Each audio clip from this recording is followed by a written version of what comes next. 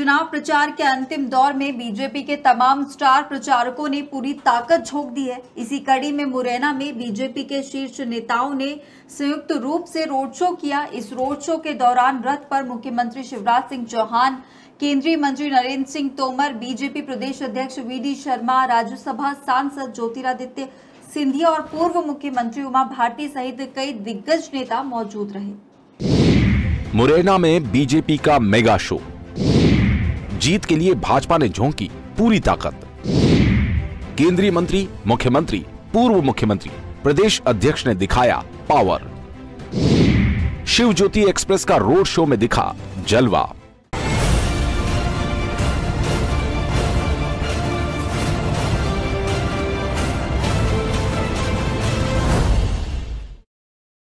उपचुनाव को लेकर बीजेपी लगातार चुनावी सभा और रैलियाँ कर रही है। वहीं शुक्रवार को बीजेपी के शीर्ष नेताओं ने मुरैना में संयुक्त रूप से रोड शो किया।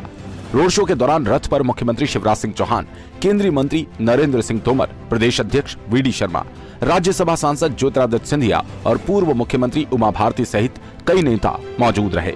हालाँकि इस दौरान जमकर कोरोना गाइडलाइन की धज्जियाँ उड़ाई गई।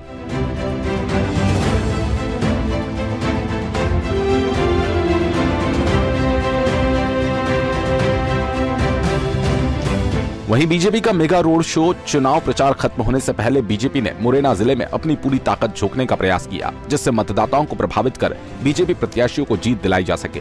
इसी क्रम में सीएम शिवराज और केंद्रीय मंत्री नरेंद्र सिंह तोमर ने जौरा विधानसभा के प्रत्याशी सूबेदार सिंह सिकरवार के समर्थन में चुनावी सभा को संबोधित किया। तस्वीर बदलनी चाहिए। मेरे सीने में नहीं तो तेरे सीने में सही। मेरे सीने में नहीं तो तेरे कहीं भी हो कहीं भी आग लेकिन आग जलनी चाहिए। तीन नवंबर को कमल के फूल के निशान पर सी लगाकर उस मसौदे को पारित करना भारी बहुमत से। रघुराज को आशीर्वाद देना और मुरैना के विकास और प्रगति के द्वार खोल देना। इसके बाद सुमावली विधानसभा से बीजेपी प्रत्याशी और कैबिनेट मंत्री एंदल सिंह कंसाना के पक्ष में ग्राम जरखोदा में चुनावी सभा को संबोधित कर जनता से प्रत्याशी को विजय बनाने की संयुक्त रूप से अपील की गई। वहीं अंतिम सभा मुरैना विधानसभा प्रत्याशी रघुराज सिंह कंसाना के समर्थन में शहर के रुई इलाके में आयोजित की गई जिसमें सभी नेताओं ने रघुराज सिंह कंसाना के समर्थन में वोट की अपील की मज़बूत करो, शिवराज सिंह जी के हाथों को मज़बूत करो, नरेंद्र सिंह जी के हाथों को मज़बूत करो। हमारा लक्ष्य एक ही है, न कुर्सी है, न राजनीति है। हमारा लक्ष्य केवल विकास, प्रगति और जन सेवा है, मेरे भाई और बहनों।